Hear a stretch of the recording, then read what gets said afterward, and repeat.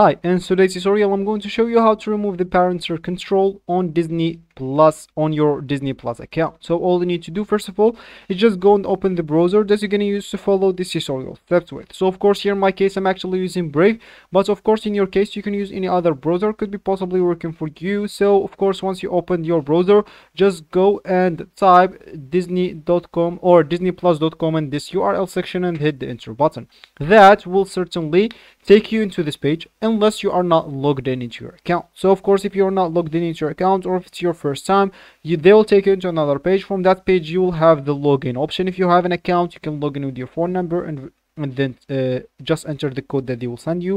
Or if you need to create your account just go and create it by clicking at sign up and of course provide them with your email and phone number. And you will need to verify them both if you want to actually uh, create an account by just entering the code that they will send to you in the email and the phone. So once you actually created your account or log in into your account you'll find yourself here at this main page or at this home screen.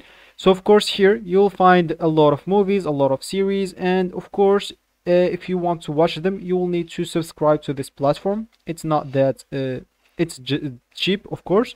You can just subscribe to it and of course you'll find here all the movies and the series you want. Of course if you didn't find any, uh, what you want here you can just go and click at the search bar right here and search for whatever you want right here and you uh, you will find it for sure here.